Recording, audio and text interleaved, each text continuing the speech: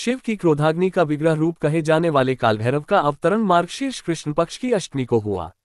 इनकी पूजा से घर में नकारात्मक ऊर्जा, जादू, टोने, भूत प्रेत आदि का भय नहीं रहता।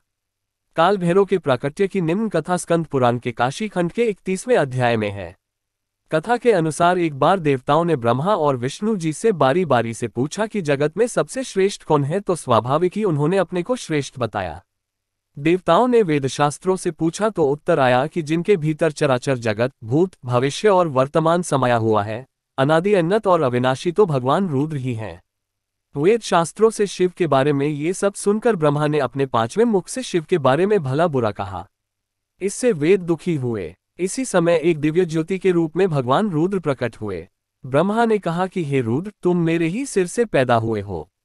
अधिक रुदन करने के कारण मैंने ही तुम्हारा नाम रुद्र रखा है। अतः तुम मेरी सेवा में आ जाओ। ब्रह्मा के इस आचरण पर शिव को भयानक क्रोध आया और उन्होंने भैरव को उत्पन्न करके कहा कि तुम ब्रह्मा पर शासन करो। उन दिव्य शक्ति संपन्न भैरव ने अपने बाएँ हाथ की सबसे छोटी अंगुली के नाखून से शिव के प्रति अपमानजनक शब्द कहने वाले ब्रह्मा के पाँचवें सर को ही काट दिया। शिव के कहने पर भैरव काशी प्रस्थान किए जहाँ ब्रह्मा हत्या से मुक्ति मिली। रुद्र ने इन्हें काशी का कोतवाल नियुक्त किया। आज भी ये काशी के कोतवाल के रूप में पूजे जाते हैं।